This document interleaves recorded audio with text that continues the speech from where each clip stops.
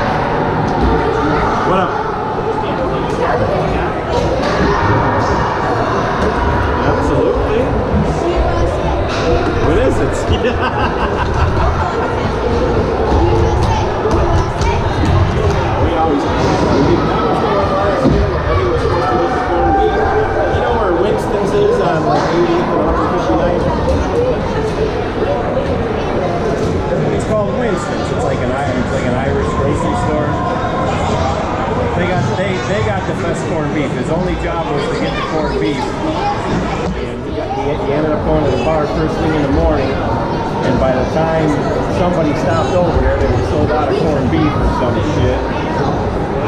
But no, yeah, we're every year. We make the rubies Delicious. Delicious. I'm just drinking my prospect right now.